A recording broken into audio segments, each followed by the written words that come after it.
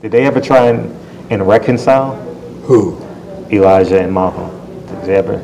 Oh, to mention that he was too busy trying to get followers, not, you know, those who didn't believe, trying to get those. Uh-huh.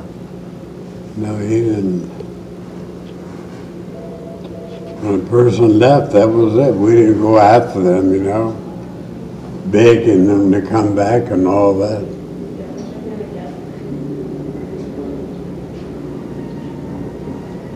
We only say we are, we would have said, we're glad you're gone, you rascal, you.